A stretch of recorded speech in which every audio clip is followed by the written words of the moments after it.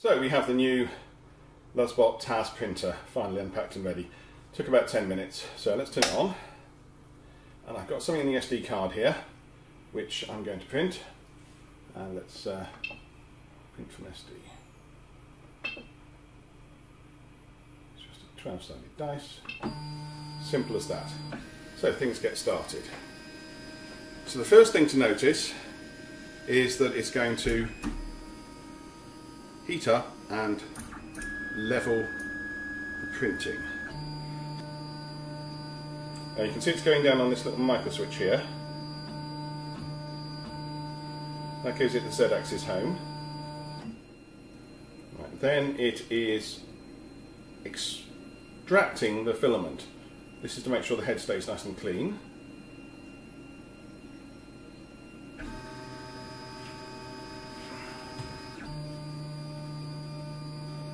And then it wipes the head against the cleaning pad.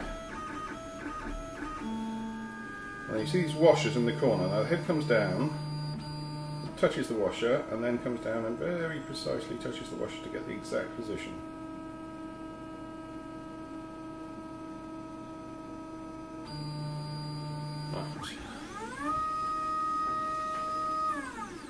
That process was repeated for all the four corners.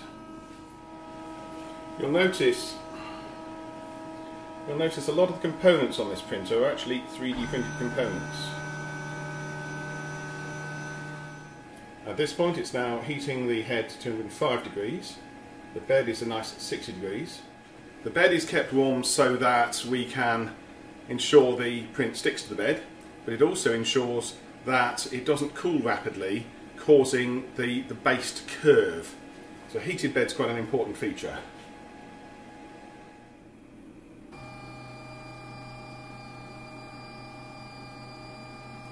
Now it's feeding the filament in and it starts printing.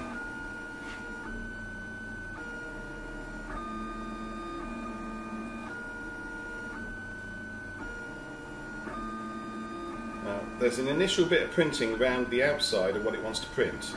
This is deliberate because it allows it to make sure that the, the filament's feeding properly before it starts printing proper, as you can see there. That's the proper start to the print.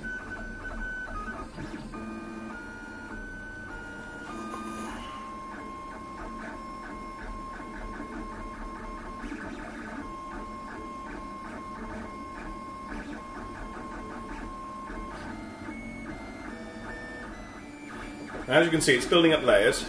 It's worth pointing out, when I first uh, um, unpacked this printer, it was very quick. It took about five or ten minutes.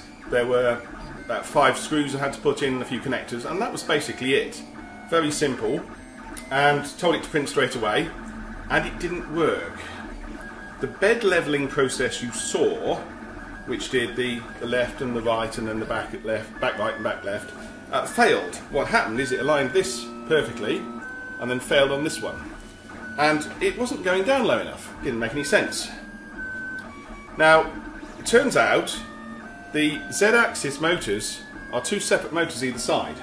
And it's possible for them to be out of step so that basically the, the carriage there was a bit like that instead of level.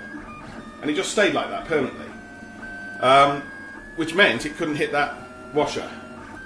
What I did is I moved the Z-axis to the top using the controls on the USB app and I could see it got closer to the top this side than this.